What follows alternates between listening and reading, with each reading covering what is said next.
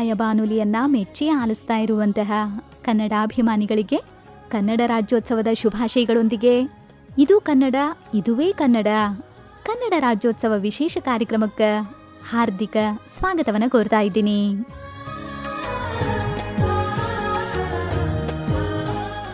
ಕೇಳುಗ್ರ, ನಾವು ಅಂತಂದ್ರ KLE ಧ್ವನಿಯವರು November ಕನ್ನಡಿಗರಲ್ಲ ಅನ್ನೋದು ತಮ್ಮೆಲ್ಲರಿಗೂ ಗೊತ್ತೈತಿ ಯಾಕಂತಂದ್ರ ನವೆಂಬರ್ ತಿಂಗಳದೊಳಗಷ್ಟ ಅಲ್ದ ಪ್ರತಿದಿನ ಕನ್ನಡದ ಕಾರ್ಯಕ್ರಮಗಳನ್ನ ಮಾಡ್ತಾನೆ ಇರ್ತೀವಿ. ಇವತ್ತ ನಮ್ಮೆಲ್ಲರಿಗೂ ಹಬ್ಬ. ಕನ್ನಡದ ಹಬ್ಬ. ಕನ್ನಡ ರಾಜ್ಯೋತ್ಸವ ಹಬ್ಬ. ಇದನ್ನೆಲ್ಲರೂ ಖುಷಿ ಖುಷಿಯಿಂದ, ಸಂಭ್ರಮದಿಂದ, ಸಂತೋಷದಿಂದ ಆಚರಿಸ್ತೀವಿ. ಆದರೆ ಕೇಳುಗ್ರ, ಕನ್ನಡದ ಮೇಲಿನ ಪ್ರೀತಿ, ಅಭಿಮಾನ, ಅದರ ಬಗ್ಗೆ ಒಂದು ಕಾಳಜಿ ಈ ಒಂದು ದಿನಕ್ಕೆ ಮಾತ್ರ ಸೀಮಿತವಾಗಬಾರ್ದು.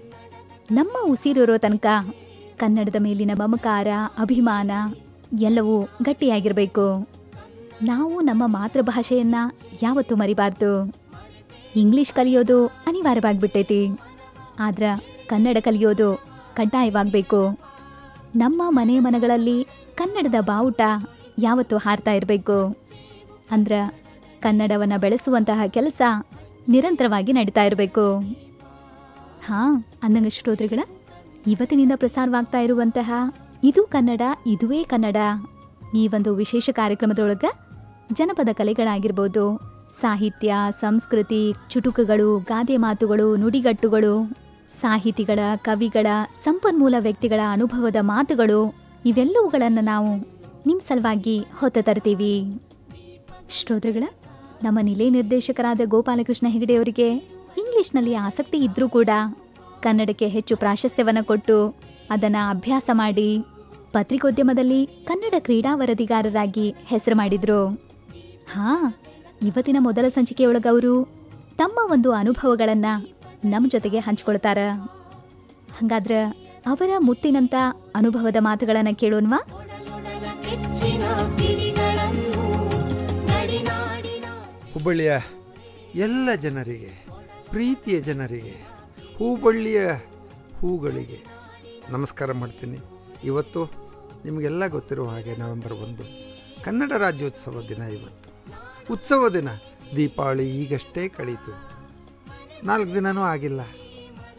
ಅದೇ ಗುಂಗಿನೊಳಗೆ ಇನ್ನೂ ಆ ಸಿಹಿ ತಿಂದಿದ್ದು, ಆ ಇದು ಪಟಾಕ್ಷಿ ಹೊಡೆದಿದ್ದು. ಹೊಡಿಬೇಡ ಅಂದ್ರೂ ಹೊಡೆಯೋದನ್ನೇ ಬಿಡೋದಿಲ್ಲ ನಾವು.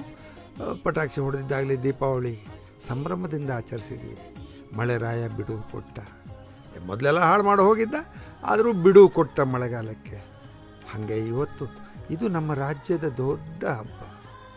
ನಮಗೆ ದೀಪಾವಳಿ ಹಾಗೆಯೇ ದೀಪಗಳನ್ನು ಬೆಳಗುವ ಆ ಸಂದರ್ಭ ಇದ್ದ ಹಾಗೆಯೇ ಕನ್ನಡ ರಾಜ್ಯೋತ್ಸವದಲ್ಲಿ ಕನ್ನಡದ ದೀಪವನ್ನು ಬೆಳಗುವಂಥ ಹಬ್ಬ ಇದು.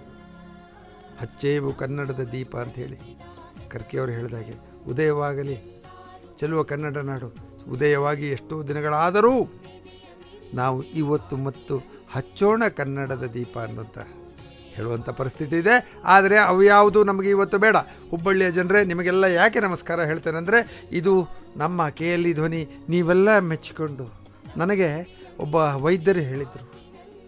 ವೈದ್ಯರು, ಗೋವಿಂದ ಹೆಗಡೆ ಅನ್ನೋರು, ನನ್ನ ಗೆಳೆಯರವರು ಅವ್ರು. ಹೇಳಿದರು, ಗೋಪಾಲ ಹೆಗಡೆ ಅವರ, ನಿಮ್ಮ ಬಾನುಲಿ ಕೇಂದ್ರದಲ್ಲಿ ನೀವು ಅಪ್ಪಟ ಕನ್ನಡದಲ್ಲಿ, ಸುಂದರವಾದ ಕನ್ನಡದಲ್ಲಿ ಕಾರ್ಯಕ್ರಮಗಳನ್ನು ಮಾಡ್ತೀರಿ ಆ ಇಂಗ್ಲೀಷನ್ನು ಎಲ್ಲೂ ಅದಕ್ಕೆ ನಡಕ್ಕೆ ಸೇರಿಸ್ಕೊಳ್ಳೋದಿಲ್ಲ. ಕಂಗ್ಲೀಷ್ ಹೇಳುವುದಿಲ್ಲ ನನಗೆ ಭಾಳ ಹೆಮ್ಮೆ ಆಗಿತ್ತು.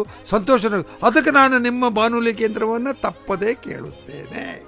ನಾ ಅಷ್ಟೇ ಅಲ್ಲ ನಾನು ಕೆಲವರು ನನ್ನ ಸ್ನೇಹಿತರಿಗೂ ಹೇಳಿದ್ದೀನಿ, ಅವರೆಲ್ಲ ಭಾಳ ಮೆಚ್ಚುಗೆಯಿಂದ ಕೇಳಿ ಧ್ವನಿನ ಕೇಳ್ತಾರೆ.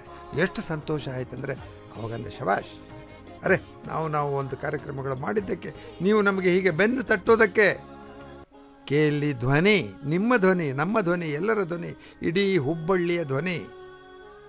ನಾವು ನಾವು ಅಂತಂದರೆ ಇಲ್ಲಿ ನನ್ನ ಬಳಗ, ನನ್ನ ಕೆ ಎಲ್ ಇ ಧ್ವನಿಯ ಬಳಗ. ಕೆ ಎಲ್ ಇಯ ವ್ಯವಸ್ಥಾಪಕರು, ಆಡಳಿತಗಾರರು, ಎಲ್ಲರೂ ಬಹಳ ಪ್ರೀತಿಯಿಂದ ಹುಬ್ಬಳ್ಳಿಯ ಜನರಿಗೆ ಕೊಟ್ಟಂಥ ಉಡುಗೊರೆ ಇದು ಈ ಬಾನುಲಿ ಕೇಂದ್ರ. ಹುಬ್ಬಳ್ಳಿ ನಗರದ ಮೊಟ್ಟ ಮೊದಲ ಬಾನುಲಿ ಕೇಂದ್ರ ಇದು. ಸಮುದಾಯ ಬಾನುಲಿ ಕೇಂದ್ರ. ನಾಗರಿಕರಿಂದ ನಾಗರಿಕಾಗಿ ಜನರಿಗಾಗಿ ಜನರೇ ನಡೆಸುವಂಥ ಒಂದು ಬಾನುಲಿ ಕೇಂದ್ರ. ನೀವೆಲ್ಲ ಭಾಳ ಮೆಚ್ಚಿಕೊಂಡಿದ್ದೀರಿ. ನಾನು ಇಲ್ಲಿ ಬೇರೆ ಬಾನುಲಿ ಕೇಂದ್ರಗಳು ಏನು ಮಾಡ್ತಾವೆ ಅನ್ನೋದು ನನಗೆ ಸಂಬಂಧಿಸಿದ್ದ. ನಾ ಯಾರ ಬಗ್ಗೆನೂ ಹೇಳಲಿಕ್ಕೆ ಹೋಗೋದಿಲ್ಲ. ಯಾರ ಬಗ್ಗೆ ನಾವು ಯಾಕ್ರಿ ಹೇಳಬೇಕು? ಕನ್ನಡದ ಪ್ರೇಮದ ವಿಷಯದಲ್ಲೂ ಹಾಗೆ. ಮತ್ತೊಬ್ಬನಿಗೆ ನಾವು ಹಿಡ್ಕೊಂಡು ಅವನಿಗೆ ಬಡದು, ಹೊಡೆದು ಮಾಡಿದ್ದೀವಿ ಕನ್ನಡ ಕನ್ನಡ ಅಂತ ಅದಲ್ಲ. ಅದು ನನ್ನ ಮನಸ್ಸಿನಲ್ಲಿ, ನನ್ನ ಮನೆಯಲ್ಲಿ ಇರಬೇಕಾದಂಥ ಒಂದು ಸ್ಥಾನ ಕನ್ನಡಕ್ಕೆ. ಇದು ನನ್ನ ಭಾಷೆ, ನನ್ನ ಮಾತೃ ಭಾಷೆ. ಭಾರತವನ್ನು ನಾನು ಯಾಕೆ ಪ್ರೀತಿಸ್ತೇನೆ ಅದು ನನ್ನ ನನ್ನ ಮಾತೃಭೂಮಿ ಅದು. ಈ ನೆಲ ನನ್ನ ಮಾತೃಭೂಮಿ, ಹಾಗೆ ಕನ್ನಡ ನನ್ನ ಮಾತೃಭಾಷೆ. ನನ್ನ ತಾಯಿಯನ್ನು ಎಷ್ಟು ಪ್ರೀತಿಸ್ತೇನೋ, ಹಾಗೆ ನನ್ನ ಭಾಷೆಯನ್ನು ನಾನು ಪ್ರೀತಿಸ್ತೇನೆ. ನಾನು ಪ್ರೀತಿಸ್ತೇನೆ, ಪ್ರೀತಿಸಬೇಕು ಅಂತ ನನ್ನ ಆಶೆ. ಹಾಗೆ ಜನ ಎಲ್ಲರೂ, ಜನರೆಲ್ಲರ ಮನಗಳಲ್ಲಿ, ಮನೆಗಳಲ್ಲಿ ಕನ್ನಡ ಉಳಿದೇ ಉಳಿಯುತ್ತದೆ. ಬೇರೆ ಇರಲಿ, ಇಂಗ್ಲೀಷ್ ಬೇಕು ನಮಗೆ, ಬೇಡ ಅಂತ ನಾನು ಹೇಳೋದೇ ಇಲ್ಲ. ಅದರ ಪ್ರಭಾವ ನಮ್ಮ ಮೇಲೆ ಸಿಕ್ಕಾಪಟ್ಟೆ ಇದೆ. ಈ ಕಂಗ್ಲೀಷ್, ಈಗ ನಾವು ಬೇರೆ ಬೇರೆ ಮಾಧ್ಯಮಗಳಲ್ಲಿ, ಬಾನುಲಿ ಕೇಂದ್ರಗಳಿರ್ಬೋದು, ಇದು ನಿಮಗೆ ಟೆಲಿವಿಷನ್ಗಳಲ್ಲಿ ಇರ್ಬೋದು, ಕನ್ನಡ ಮಾತನಾಡದೆ ಬರೀ ಇಂಗ್ಲೀಷ್ನ ಸೇರಿಸಿ ಮಾತನಾಡೋದು ಭಾಳ ಪ್ರತಿಷ್ಠೆಯ ವಿಷಯ ಅಂತ ಬಹಳಷ್ಟು ಜನ ತಿಳ್ಕೊಂಡಿದ್ದಾರೆ ಅಂತ ಕಾಣ್ತದೆ ಅದು ಅವರಿಗೆ ಬಿಟ್ಟಿದ್ದು ಅವರ ಸಮಸ್ಯೆ. ಅಚ್ಚ ಕನ್ನಡಿಗರು, ಗಾಯಕರಿರ್ಬೋದು, ಕಲಾವಿದರಿರ್ಬೋದು, ಅವರು ಯಾಕೋ ಏನೋ ಆ ಮೂರ್ಖರ ಪೆಟ್ಟಿಗೆ ಅಂತ ಕರೆಸಿಕೊಳ್ಳುವಂಥ ಏನು ಡಬ್ಬಿ ಇದೆಯಲ್ಲ, ಅದರ ಒಳಗಡೆ ಬಂದು ಮಾತನಾಡಬೇಕಾದ್ರೆ ಮಾತ್ರ ಅವರ ಬಾಯಲ್ಲಿ ಕನ್ನಡ ಏನೋ ಅದು ದೂರದ ಒಂದು ಅರಬ ಅರಬಿಸ್ತಾನದ್ದು ಅಥವಾ ಇನ್ಯಾವುದೋ ಆಫ್ರಿಕಾದ ಒಂದು ಭಾಷೆ ಅನ್ನೋ ಥರದಲ್ಲಿ ಮಾತನಾಡ್ತಾರೆ. ಕೆಟ್ಟ ಅನ್ನಿಸ್ತದೆ. ಆದರೆ ಯಾರಿಗೆ ಬೈಯೋದು? ಈಗ ನೋಡಿ, ಎರಡು ಕೆಲವು ದಿನಗಳ ಹಿಂದೆ ಬೆಂಗಳೂರಲ್ಲೇ ಒಂದು ಸಿನಿಮಾ ಥಿಯೇಟ್ರ್ನಲ್ಲಿ ಇವ ನೋಡಿ, ನಾವು ಇಂಗ್ಲೀಷ್ ಕೆಲವೊಂದು ನಾವು ಇದನ್ನು ಹೇಳೋಕ್ಕಾಗಲ್ಲ. ಅದು ಅವಾಗ ಏನನ್ನ ಚಲನಚಿತ್ರ, ಗ್ರಹ, ಈ ಥರ ಎಲ್ಲ ಹೇಳಬಹುದು. ಆದರೆ ನಮಗೆ ಎಷ್ಟೋ ಜನ, ಎಷ್ಟೋ ವಿಷಯಗಳು ನಮಗೆ ಪಟ್ಟಂತ ಬಾಯಲ್ಲಿ ಇಂಗ್ಲೀಷ್ ಶಬ್ದಗಳು ಬಂದುಬಿಡ್ತವೆ ಅಲ್ಲಿ ಸಿನಿಮಾ ನೋಡೋಕೆ, ಈಗೆಲ್ಲ ಸಿನಿಮಾ ಸುಪ್ರೀಂ ಕೋರ್ಟ್ ಆಗಿರ್ಬೋದು, ದೇಶದ ಒಂದು ನಮ್ಮ ರಾಷ್ಟ್ರಗೀತೆಯನ್ನು ಹಾಕಿದಾಗ ಎಲ್ಲರೂ ಎದ್ದು ನಿಂತು ಗೌರವ ಸೂಚಿಸಬೇಕಾದದ್ದು ಸೌಜನ್ಯ. ಆದರೆ ಕೆಲವು ಹೆಣ್ಣು ಹುಡುಗಿಯರು ಕೂತಿದ್ರು, ಅದಕ್ಕೆ ಗಲಾಟೆ ಶುರುವಾಯಿತು. ನೀನು ಪಾಕಿಸ್ತಾನದವರು, ಏನೇನೋ ಮಾತು, ಈಗ ನೀವು ಏನು ಮಾಡಲಿಕ್ಕೆ ಸಾಧ್ಯ? ಅವರಿಗೆ ಹೇಳ್ಬೋದಿತ್ತು, ಅಮ್ಮ ನಿಂತ್ಕೊಂಡು, ನಿನ್ನ ದೇಶವನ್ನು ನೀನು ಗೌರವಿಸು ಅಂತ ಹೇಳಿ ಸುಮ್ಮನೆ ಆಗ್ಬೋದಿತ್ತು ಅದರಲ್ಲಿ ಜಗಳ ಆಯಿತು. ಅವರು ಹೆಣ್ಮಕ್ಳ ಮರ್ಯಾದೆ ತೆಗಿಲಿಕ್ಕೆ ನೋಡಿದ್ರು. ಹೀಗೆಲ್ಲ ಆಗ್ತವೆ. ಆದ್ದರಿಂದ ನಾವು ಯಾರಿಗೆ, ಯಾರಿಗೂ ಒತ್ತಾಯ ಮಾಡಬಾರದ್ರಿ. ಅವನಿಗೆ ಅನಿಸಬೇಕು. ನನ್ನ ಮಾತೃಭೂಮಿ ಬಗ್ಗೆ ನನಗೆ ಗೌರವ ಇರಬೇಕಾದ್ರೆ ನನಗೆ ಅನಿಸ್ಬೇಕು ಅದನ್ನು. ನಾ ಬೇರೆ ಒಂದು ದೇಶದನ್ನು ಹೊಗಳ್ತಾ ಕೂತ್ಕೊಳ್ಳೋದಲ್ಲ ಯಾಕಂದರೆ ಮಾತೃಭೂಮಿ, ಅದು ಸ್ವರ್ಗಕ್ಕೆ ಸಮಾನ. ಸಮಾನ. ಮಾತೃಭಾಷೆಯೂ ಹಾಗೆ. ನಾವಾಗೆ ಅರ್ಥ ಮಾಡ್ಕೋಬೇಕು. ಕನ್ನಡವನ್ನು ನಾವು ಬಹಳ ಏನು ಎಲ್ಲರ ಮೇಲೆ ಹೇರಲಿ ಹೇರಲಿಕ್ಕೆ ಹೊರಟ್ರೆ ಅದನ್ನು ಬೇಕಂತಲೇ ವಿರೋಧಿಸ್ತಾರೆ. ಇಲ್ಲಿ ಆಗಿರೋದು ಅಷ್ಟೇ. ಪರಭಾಷಾ ಬೇರೆ ಬೇರೆ ಭಾಷೆಯ ಜನರು ನಮ್ಮ ಮೇಲೆ ಆಕ್ರಮಣ ನಡೆಸಿದಾಗ, ಆದರೆ ಏನಂದರೆ ನಾವು ಸ್ವಲ್ಪ ಉದಾರಿಗಳು, ಅತಿ ಉದಾರಿಗಳು ಸ್ವಲ್ಪ ಏನು? ನಾವು ಎಲ್ಲವನ್ನೂ ಹೋಗ್ಲಿ ಬಿಡೋ. ಈಗ ಬೆಂಗಳೂರಲ್ಲಿ ಕನ್ನಡಕ್ಕಿಂತ ಬೇರೆ ಭಾಷೆಗಳನ್ನು ಜಾಸ್ತಿ ಮಾತಾಡೋಕ್ಕೆ ಕಾರಣ ಯಾರು? ಕನ್ನಡಿಗರೇ, ಅದಕ್ಕೆ ಬೇರೆಯವರಲ್ಲ. ಯಾರು ಇದನ್ನು ಹೇಳೋದು ಇದು ಯಾರೂ ಹೇಳಲಿಕ್ಕಾಗೋದಿಲ್ಲ. ನಮ್ಮ ಚೆಲುವ ಕನ್ನಡ ನಾಡು ಖಂಡಿತವಾಗಲೂ ಉದಯವಾಗಿ ಆರು ದಶಕಗಳಿಗೂ ಹೆಚ್ಚಿನ ಕಾಲ ಆಗೋಯ್ತು. ಆದರೆ ನಾವಿನ್ನೂ ಈ ನವೆಂಬರ್ ಕನ್ನಡಿಗರು ಅಂತ ಅನಿಸ್ಕೊಳ್ಳಿ ಶುರುವಾಗ ಆದರೆ ಒಂದು ಮಾತು ಹೇಳ್ತೇನೆ, ಕೆ ಎಲ್ ಇ ಧ್ವನಿ ಖಂಡಿತವಾಗಿಯೂ ನವೆಂಬರ್ ಕನ್ನಡ ಬಾನುಲಿ ಕೇಂದ್ರ ಅಲ್ಲ. ನಾವು ಹೆಚ್ಚು ಪ್ರಸಾರ ಮಾಡೋದು ಕನ್ನಡ ಕಾರ್ಯಕ್ರಮಗಳನ್ನೇ, ಅಪ್ಪಟ ಕನ್ನಡ ಕಾರ್ಯಕ್ರಮಗಳನ್ನು ನಾವು, ಶುದ್ಧ ಕನ್ನಡ ಕಾರ್ಯಕ್ರಮಗಳನ್ನು ಪ್ರಸಾರ ಮಾಡ್ತೇವೆ. ನಿಮ್ಮ ಬೆಂಬಲ ನಮಗಿದೆ. ಹಾಗೆ ಈ ಕಂಗ್ಲಿ ಶೂ ಬಿಗ್ಲಿ ಶೂ ಅವೆಲ್ಲ ನಮಗೆ ಇರೋದೇ, ಅವು ಏನು ಮಾಡಲಿಕ್ಕಾಗಿಲ್ಲ. ಈಗ ನೋಡ್ರಿ ಏನಂತಂದರೆ, ಈ ಮುಂಜಾನೆ ಎದ್ದುಕೊಳ್ಳೋ ಮುಂಜಾನೆ ವಾಕಿಂಗ್ ನಾನು ನೋಡ್ರಿ. ಯಾರೂ ಬರೀ ನಮಸ್ಕಾರ ಅಥವಾ ಯಾವುದೂ ಹೇಳೋದಿಲ್ಲ. ಗುಡ್ ಮಾರ್ನಿಂಗ್ ಅಂತಲೇ ಹೇಳೋದಿಲ್ಲ. ಯಾಕಂದರೆ ಅದು ರೂಢಿಯಾಗಿ ಹೋಗ್ಬಿಟ್ಟಿದೆ ಅವರಿಗೆ. ನಾನು ಅದಕ್ಕೆ ಈ ಕೆಲವು ಬದಲಾವಣೆಗಳನ್ನು ಮಾಡಲಿಕ್ಕೆ ಹೀಗೆ ಸುಮ್ಮನೆ ಜೈ ಶ್ರೀ ರಾಮ್ ರೀ ಅಂತಂದೇನೆ. ಏನು ರೀ ಸರ? ನೀವು ಯಾವ ಸಂಘಟನೆಯ ಇದು ಅಂತ? ಅಲ್ಲಪ್ಪ, ಯಾವುದರ್ಥ? ಖಂಡಿತವಾಗಲ್ಲ ದೇವರ ನಾಮವೂ ಹೌದು ಬೆಳಿಗ್ಗೆ ಎದ್ದ ತಕ್ಷಣ. ಹಾಗೆ ನನಗೆ ಅನ್ನಿಸ್ತದು ನನ್ನ ಹೃದಯದಿಂದ ಬಂದಂಥ ಒಂದು ವಾಕ್ಯ ಅಷ್ಟೇ. ನನಗೆ ಅದು ಇದು ಸಂಬಂಧ ಇಲ್ಲ. ಆಮೇಲೆ ನೀನು ಹಾಗೆ ಭಾವಿಸೋದಾದರೆ ನಾನು ಜೈ ಶ್ರೀರಾಮ್ ಅಂತ ಹೇಳಿದ ನಮಸ್ಕಾರ ಅಂತ ಅಷ್ಟೇ ಹೇಳ್ತೇನೆ ಅಂತ ಹೇಳಿದೆ ನಮಸ್ಕಾರ ಅನ್ನೋದು ಎಷ್ಟು ಸುಂದರವಾದ ಕನ್ನಡ ಶಬ್ದ. ಅದರಲ್ಲಿ ಎಂಥ ದೊಡ್ಡ ಗೌರವ ಇದೆ. ಎದುರಿಗೆ ಬಂದವರಿಗೆ ಕೈ ಎರಡು ಜೋಡಿಸಿ, ನಮಸ್ಕಾರ ಗುರುಗಳೇ. ಗುಡ್ ಮಾರ್ನಿಂಗ್ ಸರ್ ಅನ್ನೋ ಬದಲು ನಮಸ್ಕಾರ ಗುರುಗಳೇ ಅನ್ನೋದು ಎಷ್ಟು ಸುಂದರವಾದ ಮಾತು. ಅದು ಮನಸ್ಸಿಗೆ ಹಿಡಿಸ್ತದೆ, ತಟ್ಟುತ್ತದೆ. ಅದು ಮತ್ತೆ ಸುಮ್ಮನೆ ಬರೀ ತುಟಿಗಳಿಂದ ಬರುವಂಥದ್ದು good morning thank you sorry ಆದರೆ ನಮಸ್ಕಾರ ಅನ್ನೋದು ಹೃದಯದಿಂದ ಬರುವಂಥ ಭಾಷೆ. ಹೃದಯದಿಂದ ಬರುವಂಥ ಮಾತು ಅದು ಮುಟ್ಟುತ್ತದೆ. ಹಾಗೆ ಇವುಗಳನ್ನೆಲ್ಲ ಬದಲಾವಣೆ ಮಾಡಲಿಕ್ಕೆ ಆಗಲಿಕ್ಕಿಲ್ಲ. ಕಷ್ಟ. ಯಾಕಂದ್ರೆ ನಮ್ಮ ಮಕ್ಕಳೇ ಮಾಡೋದಿಲ್ಲ. ನಮ್ಮ ಮಕ್ಕಳಿಗೆ ಹೇಳೋದೇ ಕಷ್ಟ ಇದೆ ನಮಗೀಗ. ಆದರೂ ನಾವು ಪ್ರಯತ್ನ ಮಾಡೋಣ. ಯಾಕಂತಂದರೆ ಕನ್ನಡವೇ ಸತ್ಯ, ಕನ್ನಡವೇ ನಿತ್ಯ. ನಮ್ಮನ್ನು ಬಿಟ್ಟು ಹೋಗಬಾರದು. ಹೋಗುವುದಿಲ್ಲ. ಆ ನಂಬಿಕೆ ನನಗಿದೆ. ಯಾವುದು ಎಷ್ಟೇ ಆಗಲಿ, ಇಡೀ ರಾಜ್ಯದಲ್ಲಿ ಇಂಗ್ಲೀಷ್ ಈಗ ಕನ್ನಡ ಶಾಲೆಯಲ್ಲಿ ಇಂಗ್ಲೀಷ್ ಕಲಿಸೋದು ನಾನು ನಂದು ನನಗೇನೋ ಅದು ತಪ್ಪು ಅನ್ನಿಸೋದಿಲ್ಲ ಯಾಕಂದರೆ ವ್ಯವಹಾರಕ್ಕೆ ಆ ಮಕ್ಕಳಲ್ಲಿರುವ ಕೀಳರಿಮೆ ಹೋಗಿ ಅವರು ಉನ್ನತ ವ್ಯಾಸಂಗ ಮಾಡಲಿಕ್ಕೆ ಇಂಗ್ಲೀಷ್ ಬೇಕು. ಆದರೆ ಕನ್ನಡವನ್ನು ಬದಿಗೊತ್ತಂತ ಯಾರು ಹೇಳಿದಾರ್ರೀ?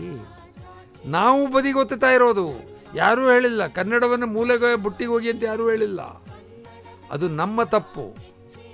ನಾನು ಮನೆಯಲ್ಲಿ ನನ್ನ ಹೆಂಡತಿಯ ಜೊತೆಯೋ, ಅಪ್ಪನ ಜೊತೆಯೋ, ಅಮ್ಮನ ಜೊತೆಯೋ, ಮಕ್ಕಳ ಜೊತೆಯೋ, ಇಂಗ್ಲೀಷ್ನಲ್ಲಿ ನಾನು ಯಾಕೆ ಮಾತನಾಡಬೇಕು ಅನ್ನೋದು ಭಾಳ ನಾನು ಎಷ್ಟೋ ಮಂದಿ ಕೇಳಿದ್ದೀನಿ. ಅಲ್ರಿ, ನಿಮ್ಮ ಮನೆಯಾಗ ನೀವು ಯಾಕೆ ರೀ ವಿದೇಶಿಗರ ಥರ ಬದುಕ್ತೀರಿ? ನಿನ್ನ ಆಫೀಸ್ನಾಗ ಇಂಗ್ಲೀಷ್ ಮಾತಾಡಪ್ಪ, ನಿಂಗೆ ಇಂಗ್ಲೀಷೇ ಬೇಕಾಗ್ತದೆ. ನಿನ್ನ ನಿನ್ನ ಮುಖ್ಯಸ್ಥ ಯಾರೋ ಒಬ್ಬರು ಬೇರೆ ಕಡೆಯವನು ಇರ್ಬೋದು, ವಿದೇಶಿಗ ಇರ್ಬೋದು ಬೇರೆ ರಾಜ್ಯದವನು ಇರ್ಬೋದು, ಅವನ ಹತ್ರ ನೀನು ಮಾಡು. ಆದರೆ ಮನೆಯಲ್ಲಿ ಯಾಕೆ? ಇದು ಇದು ಅಲ್ಲಿ ಸ್ವಲ್ಪ ಸಿಟ್ಟು ಬರ್ತದೆ. ಆದರೆ ಏನು ಮಾಡೋದು? ಯಾರ್ಯಾರಿಗೆ ಅಂತ ಹೇಳೋದು? ನಮ್ಮ ಮಕ್ಕಳನ್ನು ನಾವು ಬದಲಿಸಲಿಕ್ಕೆ ಕಷ್ಟಪಡುವಂಥ ಪರಿಸ್ಥಿತಿ ಆಗಿದೆ. ಆದರೆ ನಾವು ಮಾಡೋಣ, ಇದು ಆಗ್ತದೆ, ಎಷ್ಟೇ ಆದರೂ ಸಹಿತ. ಏನಪ್ಪ? ಒಂದು ಕನ್ನಡ ದಿನಪತ್ರಿಕೆ. ಒಂದು ಕನ್ನಡ ದಿನಕ್ಕೆ ಒಂದು ಕನ್ನಡ ಪತ್ರಿಕೆ ತಗೊಳ್ಲಿಕ್ಕೆ ಆಗದೇ ಇರುವಂಥ ಪರಿಸ್ಥಿತಿ ಅಂತೂ ಬಹಳ, ನೂರಕ್ಕೆ ತೊಂಬತ್ತು ಮಂದಿಗೆ ಇರುವುದಿಲ್ಲ. ಅಕಸ್ಮಾತ್ ತೊಗೊಳ್ಲಿಕ್ಕೆ ಆಗದೇ ಇದ್ದರೂ ಅವರು ಕೆಲಸ ಮಾಡೋ ಜಾಗದಲ್ಲೋ ಅಥವಾ ಎಲ್ಲೋ ಒಂದು ಗ್ರಂಥಾಲಯವೋ ಇನ್ನೆಲ್ಲೋ ಇರ್ತದೆ. ಪಕ್ಕದ ಮನೆಯಿಂದ ಮಾತ್ರ ಪತ್ರಿಕೆ ತರಿಸಿ ಓದಬೇಡ್ರಿ ಅದು ಭಾಳ ಕೆಟ್ಟ ಅಭ್ಯಾಸ. ನಾನು ನಿಮ್ಗೆ ಹೇಳೇನಿ ಹಿಂದೆ ಯಾವುದೋ ಒಂದು ಕನ್ನಡ ಪತ್ರಿಕೆದ ಒಂದು ಫಲಕ ಇತ್ತಂತೆ. ನಮ್ಮ ಓದುಗರು ಎಪ್ಪತ್ತು ಲಕ್ಷ, ಎಂಬತ್ತು ಲಕ್ಷ ಅಂತ. ಅದು ಒಬ್ಬ ಕಿಡಿಗೇಡಿ ಕೆಳಗೆ ಬರ್ತಿದ್ದಂತೆ ಇದರ ಶೇಕಡ ಹತ್ತರಷ್ಟು ಮಂದಿ ಮಾತ್ರ ಅದನ್ನು ಕೊಂಡು ಓದುತ್ತಾರೆ ಅಂತ. ಆ ಪರಿಸ್ಥಿತಿನೇ ಇರೋದು. ಇವತ್ತು ನೋಡಿಬೇಕಾರೆ ಎಲ್ಲ ಪರ ಪತ್ರಿಕೆಗಳ ಪರಿಸ್ಥಿತಿನೇ ಹಾಗೆ. ಹಾಗಿರುವಾಗ, ಹಾಗೆ ಬೇಡ ನೀವು ಎಲ್ಲೊಂದು ಕಡೆ ಓದಿ ಕನ್ನಡ ಪತ್ರಿಕೆಯನ್ನು ಓದಿ. ಹಾಗೆ ತಿಂಗಳಿಗೆ ಒಂದು ಕನ್ನಡ ಪುಸ್ತಕ. ನೂರು ರೂಪಾಯಿ ಎರಡು ನೂರು ರೂಪಾಯಿ, ಹೆಚ್ಚಂದ್ರೆ ಮುನ್ನೂರು ರೂಪಾಯಿ. ಒಂದು ಕನ್ನಡ ಪುಸ್ತಕ ತೊಗೊಳ್ಲಿಕ್ಕಾಗೋದಿಲ್ಲ ಓದಿ. ನೀವು ಅಷ್ಟೇ ಅಲ್ಲ, ನಿಮ್ಮ ಮನೆಯಲ್ಲಿರೋರಿಗೆ ಓದಿಸಿ. ಮಕ್ಕಳಿಗೆ ಓದಿಸಿ. ಮಕ್ಕಳಿಗೆ ಉಡುಗೊರೆಯಾಗಿ ಪುಸ್ತಕಗಳನ್ನು, ಕನ್ನಡ ಪುಸ್ತಕಗಳನ್ನು ಕೊಡಿ. ನಾನು ನಿಮಗೆ ನನ್ನ ದೊಡ್ಡಸ್ತಿಕೆ ಹೇಳ್ಕೊಳ್ಲಿಕ್ಕಲ್ಲ ನನ್ನ ಗೆಳೆಯ ಒಬ್ಬವ ವಿದೇಶಕ್ಕೆ ತನ್ನ ಮಗನ ಮನೆಗೆ ಹೊರಟಾಗ ಅವನ ಮೊಮ್ಮಗನಿಗೆ ನಾನು ಕನ್ನಡದ ಮಹಾಭಾರತದ ಪುಸ್ತಕಗಳನ್ನು ಚಿತ್ರಗಳಿರೋ, ಚಿತ್ರ ಸ, ಚಿತ್ರ ಮಾಲೆ ಇರುವಂಥ ಪುಸ್ತಕ. ಎಷ್ಟು ಸಂತೋಷ ಆಯಿತು ಮಗುಗೆ ಅಂದರೆ ತಾಯಿ ಮತ್ತು ಮಗುಗೆ ಆ ಸಂತೋಷವನ್ನು ನಾವು ಆನಂದಿಸಬೇಕು ಆನಂದಿಸ, ನಾವು ಹಂಚ್ಕೋಬೇಕು. ಎಲ್ಲರಿಗೂ ಅದನ್ನು ಮಾಡಬೇಕು. ಹಾಗೆ ವಿದೇಶಿ ರೀತಿಯ ಹುಟ್ಟುಹಬ್ಬ ಆಚರಣೆ ದೀಪವನ್ನು ದೀಪಾವಳಿಯಂತೆ ನಾವು ದೀಪವನ್ನು ಬೆಳಗುವ ಕೆಲಸವನ್ನು ನಾವು ಮಾಡೋದಿಲ್ಲ. ಉಫ್ ಅಂತ ಆರಿಸ್ತೇವೆ ಅದು ಯಾಕೆ? ಈ ಅನುಕರಣೆಗಳನ್ನು ಬಿಟ್ಟು ನಾವು ನಮ್ಮ ರೀತಿಯ ದೀಪವನ್ನು ಬೆಳಗ್ಗೆ ಆರತಿ ಮಾಡಿ ಮಕ್ಕಳಿಗೆ ಇದನ್ನೆಲ್ಲ ಆಚರಣೆಗೆ ತಂದಾಗ ಕನ್ನಡ ಬರೀ ಉಳಿಯೋದಲ್ಲ, ಬೆಳಗುತ್ತದೆ. ಹೀಗೆ ನನ್ನ ಅನುಭವದಲ್ಲಿ ನಾನು ಹೇಳ್ತೇನೆ, ಈಗ ನನ್ನ ನಲವತ್ತೆಂಟು ವರ್ಷಗಳಿಂದ ಈ ಮಾಧ್ಯಮ ಕ್ಷೇತ್ರದಲ್ಲಿದೆ. ಕನ್ನಡ ಮಾಧ್ಯಮ ಕ್ಷೇತ್ರದಲ್ಲೇ ಇದ್ದೀನಿ. ಇಂಗ್ಲೀಷ್ ಪತ್ರಿಕೆಗಳಿಗೆ ನಾನು ಲೇಖನಗಳನ್ನು ಬರೆದಿರ್ಬೋದು. ಸಂಯುಕ್ತ ಕರ್ನಾಟಕದಲ್ಲಿ ಹತ್ತು ವರ್ಷ, ಆಮೇಲೆ ಪ್ರಜಾವಾಣಿನಲ್ಲಿ ಮೂವತ್ತೆರಡು ವರ್ಷ ಇದ್ದಾಗ ನನಗೆ ಅನಿಸಿದ್ದಿದೆ, ಎಷ್ಟೋ ಸಲ ನಾನು ಇಂಗ್ಲೀಷ್ ಪತ್ರಿಕೆಯಲ್ಲಿ ಕೆಲಸ ಮಾಡಬೇಕು. ಯಾಕಂದರೆ ನನ್ನ ಓಡಾಟ ಹೆಚ್ಚಾಗಿ ಇಂಗ್ಲೀಷ್ ಪತ್ರಕರ್ತರ ಜೊತೆ ಇರ್ತಿತ್ತು. ನಾನು ಕ್ರೀಡಾ ವರದಿಗಾರನಾಗಿದ್ದಾಗ ಪ್ರಜಾವಾಣಿಯಲ್ಲಿ Rajan Bala, Ron Hendricks, K N Prabhu ಅಂತ ಅತ್ಯದ್ಭುತ ಈ ದೇಶ ಕಂಡಂಥ ಪ್ರತಿಭಾವಂತ ಇಂಗ್ಲೀಷ್ ಕ್ರಿಕೆಟ್ ಲೇಖಕರು, ಕ್ರೀಡಾ ಲೇಖಕರು, ಅವರ ಜೊತೆ ಓಡಾಡ್ತಿದ್ದೆ. ಅವಾಗ ನನಗೂ ಅನಿಸೋದು ನಾನು ಇಂಗ್ಲೀಷ್ ಯಾಕಂದರೆ ಎಲ್ಲ ಜನರು ಮೊದಲು ಮಾತನಾಡಿಸೋದು ಇಂಗ್ಲೀಷ್ ಪತ್ರಿಕೆಯವರು ಈಗಲೂ ಅದೇ ಉಳ್ಕೊಂಡಿದೆ. ಎಷ್ಟೋ ಜನ ತಾವು ಈಗ ಎರಡು ಪತ್ರಿಕೆಗಳು ಬರ್ತವೆ. ಈಗ ಉದಾಹರಣೆಗೆ ಪ್ರಜಾವಾಣಿ ಮತ್ತು ಡೆಕ್ಕನ್ ಹೇಳು ಒಂದು ಇಂಗ್ಲೀಷು ಒಂದು ಕನ್ನಡ ಇದನ್ನಂತರ ಹೇಳೋದಿಲ್ಲ. ನಾನು ಅದನ್ನೇ ಉದಾಹರಣೆಯಾಗಿ ಹೇಳೋದಿಲ್ಲ. ಆದರೆ ಇದೇ ರೀತಿ ಕನ್ನಡ ಪ್ರಭ ಇಂಡಿಯನ್ ಎಕ್ಸ್ಪ್ರೆಸ್ಸು ಈ ಥರ ಸುಮಾರು ಅಷ್ಟು ತಮಿಳಲ್ಲೂ ಹಾಗೆ ಇರ್ತದೆ ಮರಾಠಿಲೂ ಹಾಗೆ ಇರ್ತದೆ. ಆದರೆ ಅಲ್ಲಿ ಕೆಲಸ ಮಾಡುವ ಕನ್ನಡ ಭಾಷೆಯ ಅಥವಾ ತಮಿಳು ಭಾಷೆಯ ಅಥವಾ ಮರಾಠಿ ಭಾಷೆಯ ಪತ್ರಕರ್ತ ತಾನು ಕೆಲಸ ಮಾಡದೇ ಇರುವ ಇಂಗ್ಲೀಷ್ ಪತ್ರಿಕೆಯ ಹೆಸರು ಹೇಳುತ್ತಾನೆ ಹೊರತು. ತನ್ನ ಪತ್ರಿಕೆಯ ಹೆಸರು ಹೇಳೋದಿಲ್ಲ. ಯಾಕೆಂದರೆ ಅವನ ತಲೆಯಲ್ಲೂ ಅದೇ ಇದೆ. ಬೇರೆಯವರು ಇಂಗ್ಲೀಷ್ ಪತ್ರಿಕೆ ಅವನು ಅಂತಂದರೆ ಹೆಚ್ಚಿನ ಮರ್ಯಾದೆ ಸಿಗ್ತದೆ. ಹಾಗೆ ಯಾವುದೂ ಇಲ್ಲ. ನನಗೆ ಅನಿಸಿದ್ದಿದೆ. ಯಾಕೆಂದರೆ ಒಂದು ವ್ಯತ್ಯಾಸ ನಾನು ಕಂಡುಕೊಂಡಿದ್ದು. ಇಂಗ್ಲೀಷ್ ಪತ್ರಕರ್ತರಿಗೆ ಹೆಚ್ಚಿನ ಸಂಭಾವನೆ, ಹೆಚ್ಚಿನ ಸಂಬಳ, ಸಾರಿಗೆಗಳು ಸಿಗ್ತಾ ಇತ್ತು. ಹೆಚ್ಚಿನ ಅವಕಾಶಗಳು ಸಿಗ್ತಾ ಇದ್ದು ವರದಿ ಮಾಡುವ ಅವಕಾಶ ಆದರೆ ಪ್ರಜಾವಾಣಿ ಒಂದು ಅತ್ಯದ್ಭುತ ಪತ್ರಿಕೆ ಅದು. ಕನ್ನಡದ ಕ್ರೀಡಾ ವರದಿಗಾರರಿಗೆ ಅವರು ಕೊಟ್ಟ ಅವಕಾಶಗಳನ್ನು ಬೇರೆ ಯಾವ ಪತ್ರಿಕೆಯವರು ಕೊಟ್ಟಿಲ್ಲ ಅಂತ ನಾನು ಬಹಳ ಹೆಮ್ಮೆಯಿಂದ ಹೇಳ್ಕೊತೇನೆ. ಬೇರೆಯವ್ರನ್ನ ತೆಗಳಲಿಕ್ಕೆ ಅಲ್ಲ ಇದು. ಆ ಪರಂಪರೆಯೇ ಇರಲಿಲ್ಲ. ಕ್ರೀಡಾ ಪತ್ರಿಕೋದ್ಯಮಕ್ಕೆ ನಾಂದಿ ಹಾಡಿದವರೇ ಪ್ರಜಾವಾಣಿ ಪತ್ರಿಕೆಯವರು. ಅವರು ಎಲ್ಲ ಅವಕಾಶಗಳನ್ನು ಅದರಲ್ಲಿ ಕೊಟ್ಟು ಬೆಳೆಸಿದರು ಅವರು ವರದಿಗಾರರು. ನನಗೆ ಅಂಥ ಅದೃಷ್ಟ ಇತ್ತು. ಆವಾಗ ನಾನು ರಾಜನ್ ಬಾಲ ಅವ್ರ ಜೊತೆಗೆ ಅವ್ರು ಟೆಸ್ಟ್ ಪಂದ್ಯಗಳನ್ನು, ಬೇರೆ ಬೇರೆ ಮ್ಯಾಚ್ಗಳನ್ನು ಹೋದಾಗ ಅವರು ಹೇಳ್ತಿದ್ರು, ಗೋಪಾಲ್, ನೀನು ಯಾಕೆ ಇಂಗ್ಲೀಷ್ ಪತ್ರಿಕೋದ್ಯಮಕ್ಕೆ? ಆವಾಗಲೇ ನಾನು ಬರೀತಿದ್ದೆ. ಅವರಷ್ಟು ಉತ್ತಮವಾಗಿ ಇರಲಿಕ್ಕಿಲ್ಲ ಆದರೆ ನನ್ನ ಇಂಗ್ಲೀಷ್ ಭಾಷೆ ಕೆಟ್ಟದೇನೂ ಆಗಿರಲಿಲ್ಲ. ಯಾಕೆಂದರೆ ಇಂಗ್ಲೀಷನ್ನು ಓದಬೇಕಾಗ್ತಿತ್ತು.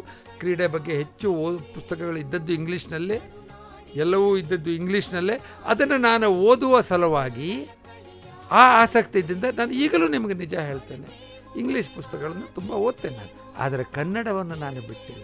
ನನ್ನ ಮನೆಯಲ್ಲಿ ಎರಡು ಇಂಗ್ಲೀಷ್ ಪುಸ್ತಕದ ಜೊತೆ ಮೂರು ಕನ್ನಡ ಪುಸ್ತಕಗಳು ಇದ್ದೇ ಇರ್ತವೆ. ಅದು ನನಗೆ ಭಾಳ ಪ್ರಿಯವಾದ ಕೆಲಸ ಆಗ್ತದೆ. ಹಾಗೆ ಹಾಗೆ ನಾನು ಪ, ಕನ್ನಡ ಪತ್ರಿಕೋದ್ಯಮದಿಂದ ಇಂಗ್ಲೀಷಿಗೆ ಹೋಗುವ ಸಣ್ಣ ಪ್ರಯತ್ನವನ್ನು ನಾನು ಮಾಡಿದ್ದೆ. ಆದರೆ ರಾಜನ್ ಬಾಲೆ ಜೊತೆ ಕೆಲಸ ಮಾಡುವಾಗ ಒಮ್ಮೆ ಹೇಳಿದರು, ಹೌದು ರಾಜನ್, ನಾನು ಬಂದೆ ಅಂತ ಇಟ್ಕೊಳ್ಳಿ. ನಿಮ್ಮ ಜೊತೆ ಇಂಗ್ಲೀಷ್ ಆವಾಗ ನಿಮಗೆ ಹೆಚ್ಚು ಅವಕಾಶಗಳು ಸಿಗ್ತದೆ ಹೊತ್ತು ನನಗೆ ಸಿಗೋದು ಅವಕಾಶ ಯಾವಾಗ? ಸಿಗಲಿಕ್ಕಿಲ್ಲ. ನಾನು ಏನು ಭಾವಿಸಿದೆ ಅಂದರೆ, ನನಗೆ ಇಷ್ಟೊಂದು ಅವಕಾಶ ಪತ್ರಿಕೆಯಲ್ಲಿ ಸಿಗ್ತಾ ಇದೆಯಲ್ಲ, ನಾನು ಯಾಕೆ ಇಂಗ್ಲೀಷಿಗೆ ಹೋಗಬೇಕು ಅಂತ ಅನಿಸಿದ್ದು ಹೌದು. ಕೆಲವೊಮ್ಮೆ ಹತಾಶ ಮನೋಭಾವ ಸಂದರ್ಭಗಳಲ್ಲೂ ನನಗೆ ಇಂಗ್ಲೀಷಿಗೆ ಹೋಗೋಣ ಅಂತ ಅನಿಸಿದ್ದಿದೆ. ಆದರೆ ನನ್ನ ಒಬ್ಬ ಇಂಗ್ಲೀಷ್ ಪತ್ರಿಕೆಯ ಗೆಳೆಯ ಭಾಷೆ ತಮಿಳಾಗಿದ್ದಂಥವನು, ಅವನು ನನಗೆ ಹೇಳಿದ, ಗೋಪಿ, ಅವನು ಎಷ್ಟು, ಅವನು ನನ್ನ ಕ್ರೀಡಾ ಲೇಖಗಳನ್ನು ಅವರ ಕಚೇರಿಯಲ್ಲಿದ್ದ ಕನ್ನಡ ಓದುಗರಿಂದ ಓದಿಸಿಕೊಂಡು ಅವನಿಗೆ ಮಾತೃಭಾಷೆ ತಮಿಳು, ಅವ ಕಲಿತು ಓದಿದ್ದು ಬೆಳೆದಿದ್ದೆಲ್ಲ ತಮಿಳು ಇಂಗ್ಲೀಷಲ್ಲಿ ಹಿಂದೂ ಪತ್ರಿಕೆಯಲ್ಲಿ ಅವರಿಲ್ಲ ಈಗ ಪಾಪ. ನನ್ನ ಅಣ್ಣನಾಗಿದ್ದ ಅವನು. ಅವನು ಹೇಳಿದ, ಗೋಪಿ, ನಿನ್ನ ಶಕ್ತಿ ಇರೋದು ನಿನ್ನ ಮಾತೃಭಾಷೆ ಬರವಣಿಗೆ. ನಿನಗೆ ಜನ ಅದರಿಂದನೇ ನಿನ್ನ ಗುರುತಿಸ್ತಾರೆ. ಅದನ್ನು ಬಿಡಬೇಡ ಅಂತ ಮೊದಲೇ ಹೇಳಿದವನು ಅವನು. ನನಗೆ ಇವತ್ತು ನೆನಪಾಗ್ತದೆ. ಹೌದಲ್ಲ ಅಂದೆ ನನಗೆ ಮನ್ನಣೆ ಕೊಟ್ಟಿದ್ದು ಕನ್ನಡ ಬರವಣಿಗೆ ಹೊರತು ಇಂಗ್ಲೀಷ್ ಬರವಣಿಗೆ ಅಲ್ಲ. ನಾನು ಇಂಗ್ಲೀಷ್ನಲ್ಲಿ ಸಾಕಷ್ಟು ಬರೆದರೂ ಸಹಿತ ಯಾರೂ ನನ್ನ ಇಂಗ್ಲೀಷ್ ಪತ್ರಿಕೆಯ ಬರಗಾರ ಅಂತ ಯಾರೂ ಪರಿಗಣಿಸಿಲ್ಲ ಗೋಪಾಲ ಹೆಗಡೆ, ಗೋಪಾಲಕೃಷ್ಣ ಹೆಗಡೆ ಅಂತಂದರೆ ಕನ್ನಡದ ಕ್ರೀಡಾ ವರದಿಗಾರ ಅಂತಲೇ ಗುರುತಿಸಿದರು ಅದು ನಾನು ಭಾಳ ಹೆಮ್ಮೆಯಿಂದ ಹೇಳ್ತೀನಿ. ಹೀಗೆ ಕನ್ನಡದ ಶಕ್ತಿಯನ್ನು ಎಲ್ಲೋ ಒಂದು ಕಡೆ ನಾನು ಪರಿಚಯ ಮಾಡಿಕೊಂಡೇ ಮಾಡಿಕೊಟ್ಟೆ. ಹೀಗಾಗಿ ನಾನು ಕೊನೆಯವರೆಗೂ ಆಮೇಲೆ ಅದರ ಬಗ್ಗೆ ಯೋಚನೆ ಮಾಡಲಿಲ್ಲ. ಕನ್ನಡ ಪತ್ರಿಕೆ ಉದ್ಯಮವನ್ನು ಬಿಟ್ಟು ಇಂಗ್ಲೀಷ್ ಪತ್ರಿಕೆ ಉದ್ಯಮಕ್ಕೆ ಹೋಗೋ ಯೋಚನೆಯನ್ನು ಖಂಡಿತ ಮಾಡಲಿಲ್ಲ ನಾನು. ಆಮೇಲೆ ನನಗೆ ಬೆಳವಣಿಗೆ, ಬೇರೆ ಬೇರೆ ರೀತಿಯ ಬೆಳವಣಿಗೆ ಆಯಿತು. ಸಂಪ ಸಹ ಸಂಪಾದಕನಾಗುವ ಮಟ್ಟಕ್ಕೆ ನಾನು ಬೆಳೆದೆ. ಅದೆಲ್ಲದಕ್ಕೂ ಅಡಿಪಾಯ ಸಿಕ್ಕಿದ್ದು ಕನ್ನಡ ಬರವಣಿಗೆಯ ಹೊರತು ಮತ್ಯಾವುದೂ ಅಲ್ಲ. ಹೀಗಾಗಿ ನನಗೆ ಇವತ್ತಿಗೂ ನಾನು, ಆಮೇಲೆ ನಾನು ವಿದೇಶಗಳಿಗೆ ಏಷ್ಯನ್ ಕ್ರೀಡೆಗಳನ್ನು ವರದಿ ಮಾಡಲಿಕ್ಕೆ ಹೋದಾಗ ನಾನು ಬಹಳ ಹೆಮ್ಮೆಯಿಂದ ನಾನು ಪ್ರಜಾವಾಣಿಯವನಂತ ಹೇಳ್ತಿದ್ದೆ ಹೊರತು ಡೆಕ್ಕನ್ ಹೆರಾಲ್ಡ್ ಅಂತ ಯಾವತ್ತೂ ಹೇಳ್ತಿರಲಿಲ್ಲ. ಇಂಗ್ಲೀಷ್ ಪತ್ರಿಕೆಗೆ ಸಂಬಂಧಪಟ್ಟವನಂತ ನಾನು ಹೇಳ್ತಿರಲಿಲ್ಲ. ಇದು ನಮ್ಮಲ್ಲಿ ಬೆಳಿಬೇಕಾದ ಆತ್ಮವಿಶ್ವಾಸ. ನಾನು ಇದೊಂದು ಉದಾಹರಣೆಗೆ ನನ್ನ ಬೆನ್ನ ನಾನು ತಟ್ಕೊಳ್ತಾ ಇಲ್ಲ ಇಲ್ಲಿ. ಅನುಭವದ ಮಾತನ್ನು ಹೇಳ್ತೇನೆ ಎಲ್ಲ ಪತ್ರಕರ್ತರು ಇದನ್ನು ಗಮನಿಸಬೇಕು. ಕನ್ನಡ ಪತ್ರಕರ್ತರು ಕನಸು ಅವರ ಶಕ್ತಿ ಇರೋದೇ ಅವರ ಮಾತೃಭಾಷೆಯಲ್ಲಿ ಆ ಬರವಣಿಗೆಯಲ್ಲಿ. ಹಾಗೆ ಕನ್ನಡದ ಜನರೇ, ಯಾಕೆ ನಾವು ಕನ್ನಡ ರಾಜ್ಯೋತ್ಸವ ಸಂದರ್ಭದಲ್ಲಿ ಶುಭಾಶಯ ಹೇಳಿ? ನಮ್ಮ ಬಾನುಲಿ ಕೇಂದ್ರ ಮೊದಲೇ ನಿಮಗೆ ಹೇಳಿದೆ ಹೆಂಗೆ ಹಾಗೆ? ನಮ್ಮದು ಅಪ್ಪಟ ಕನ್ನಡ ಕೇಂದ್ರ. ನಾವು ಕಂಗ್ಲೀಷು ಭಾಷೆಯವರಲ್ಲ. ನಮಗೆ ಕನ್ನಡವೇ ಪ್ರೀತಿ. ಕನ್ನಡ ನಮಗೆ ನಮ್ಮ ತಾಯಿ, ನಮ್ಮವನಷ್ಟೇ ನಾನು ಕನ್ನಡವೂ ಭಾಷೆ, ಆ ಭಾಷೆಯೂ ಪ್ರೀತಿ. ಇಂಗ್ಲೀಷ್ನ ಬೇಡ ಅಂತ ನಾನು ಎಲ್ಲೂ ಹೇಳಿಲ್ಲ ರೀ. ಮಕ್ಕಳಿಗೆ, ನಿಮ್ಮ ಮಕ್ಕಳಿಗೆ ಇಂಗ್ಲೀಷನ್ನು ಕಲಿಸಿ, ಶಾಲೆಯಲ್ಲಿ ಕಲಿಸ್ತಾರಲ್ರಿ. ನೋಡ್ರಿ ಬೇಕಾರೆ ಈ ಸಣ್ಣ ಅವಕ್ಕೂ ಇಂಗ್ಲೀಷ್ನಾಗೆ ಹೇಳ್ಬೇಕಾದ್ರೆ, ಎಲ್ ಕೆ ಜಿಗೆ ಯು ಕೆ ಜಿಗೆ ಇವೆಲ್ಲ ಏನಾಗ್ಬಿಟ್ಟಾವಂತಂದರೆ, ನಾವು ಅದನ್ನು ಎಲ್ ಕೆ ಜಿಗೆ ಏನಂತ ಅನ್ನೋದು ಕನ್ನಡದಾಗೆ. ಯು ಕೆ ಜಿಗೆ ಏನದು ಅಪ್ಪರ್ ಕೆ ಜಿ ನಾವು ಸಣ್ಣ ಮಕ್ಕಳಿಗೆ ಬಾಲ್ವಾಡಿ ಕಳಿಸು. ಅಲ್ಲಿ ಕಲಿತಾಳೆ. ಅಲ್ಲಿ ಬೆಕ್ಕೆ ಬೆಕ್ಕೆ ಮುದ್ದಿನ ಸೊಕ್ಕೆ ಕಲಿತಾಳೆ. ಇಲ್ಲ. ನಮಗೆ ಪುಸಿಕೆಟ್ ಪುಸಿಕ್ಯಾಟೇ ಕರೆಕ್ಟ್ ನಮಗೆ. ಯಾರನ್ನೂ ನೀವು ಬೇಕಾದವ್ರಿಗೆ ಹೇಳಿದ್ರೆ. ಹೊಡ್ಕೊಂಬರ್ತಾರೆ ಸೌಟ್ ಹಿಡ್ಕೊಂಡು ಹಿಡ್ಕೊಂಬರ್ತಾರೆ. ಅವು ಅಂದ್ರಲ್ಲ ನೀವು ಕ ಬಾಲ್ವಾಡಿಗೆ ಹಾಕ್ರಿ ಅಂತಂದ್ರೆ. ಅವರು ಇಂಗ್ಲೀಷಲ್ಲಿ ಹಾಕ್ರೆ ಹಾಕಲಿ ತೊಂದರೆ ಅದು ಹಾಕೋದು ಬೇಡತ್ತೆ ನೀವು ಆ ಸಾಲಿ ಹತ್ರ ಒಂದು ಸಲ ಹೋಗಬರ್ರಿ. ನಿಮಗೆ ಭಾರಿ ಮಜಾ ಅನಿಸ್ತೀವಿ ಅವ್ರು ಮಾತಾಡೋದು ಅಮ್ಮಂತರು ಬಂದಿರ್ತಾರೆ. ಮಕ್ಕಳು ಕರ್ಕೊಂಡು ಹೋಗ್ಬೇಕಲ್ಲ, ಒಂದು ಎರಡೋ ಮೂರು ತಾಸು ಇರ್ತಾವೆ. ಆ ಮಗು ಅಮ್ಮ ಅವ್ವ ಅಂತ ಒದರ್ಕೊಂಡು ಗೇಟಿನಿಂದ ಹೊರಗೆ ಬಂದರೆ, ತಾಯಿ ಒದರ್ತಾಳೆ. ಮಮ್ಮಿ ಅಂತ ಮಮ್ಮಿ ಏನು ಅಂತ. ಅಂದರೆ ಅದರ ಆ ಇಂಗ್ಲೀಷ್ ಆ ಸುತ್ತಮುತ್ತಲು ಆ ಪ್ರಭಾವ ಹೆಂಗಾಗಿರ್ತದಲ್ಲ? ಅದೊಂಥರ ಈ ಏರ್ ಕಂಡೀಷನ್ ಹಾಲ್ನಾಗ ನೋಡಿ ಎಲ್ಲಿ ಆ ಥರ ಒಂದು ಇಡೀ ತಣ್ಣ, ಆ ಥರದ್ದು ಒಂದು ಭಾವನೆ ಎಲ್ಲ ಆಗಿರ್ತದಂಗೆ ಕಾಣ್ತದೆ.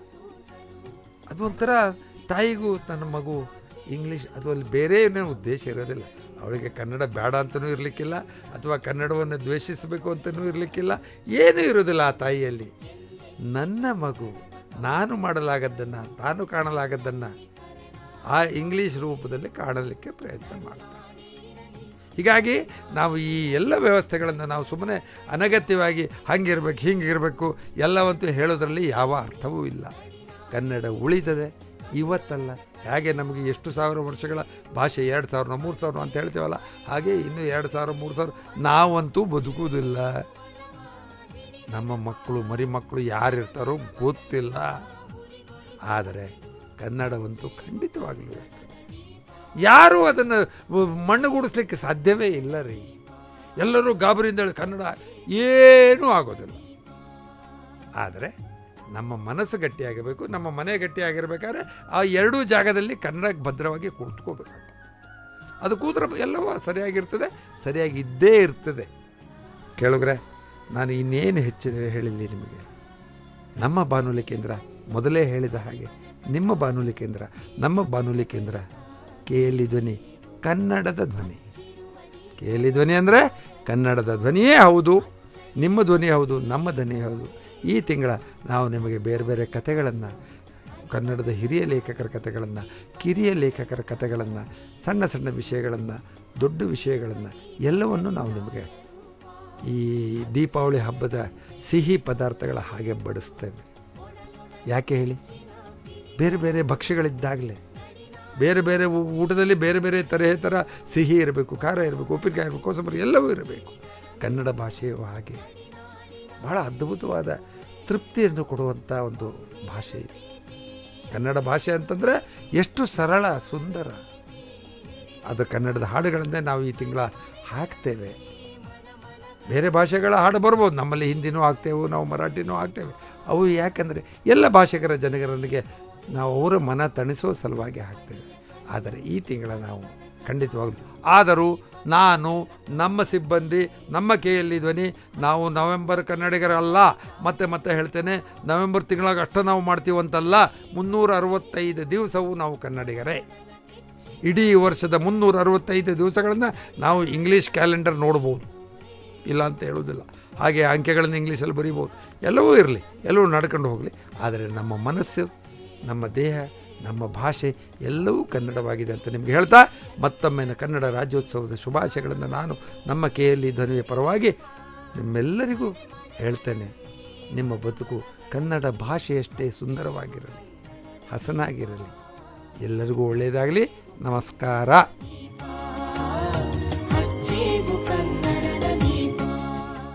ಪ್ರೀತಿಯ ಹುಬ್ಬಳ್ಳಿಗ್ರ ಇದಾಗಿತ್ತು. ಇದು ಕನ್ನಡ, ಇದುವೇ ಕನ್ನಡ. ಕನ್ನಡ ರಾಜ್ಯೋತ್ಸವ ವಿಶೇಷ ಕಾರ್ಯಕ್ರಮದ ಮೊದಲ ಸಂಚಿಕೆ.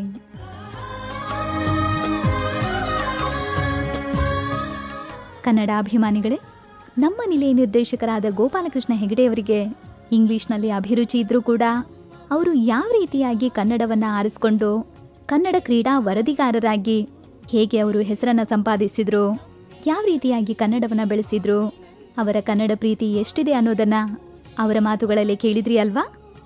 ಇನ್ನು ನಾಳಿನ ಸಂಚಿಕೆ ಒಳಗವರು ಇದರ ಮುಂದುವರೆದ ಭಾಗವಾಗಿ ಕನ್ನಡ ಪತ್ರಿಕೆಗಳಲ್ಲಿ ಕ್ರೀಡಾ ವರದಿ ಈ ವಿಷಯದ ಕುರಿತಾಗಿ ತಮ್ಮ ಅನುಭವಗಳನ್ನು ಹಂಚ್ಕೊಳ್ತಾರ. ತಾವು ಮಾತ್ರ ಕೇಳುವುದಕ್ಕೆ ಮರಿಬ್ಯಾಡ್ರಿ ಅಂತ ಹೇಳ್ತಾ ಮತ್ತೊಮ್ಮೆ ತಮ್ಮೆಲ್ಲರಿಗೂ ಕನ್ನಡ ರಾಜ್ಯೋತ್ಸವದ ಹಾರ್ದಿಕ ಶುಭಾಶಯಗಳು.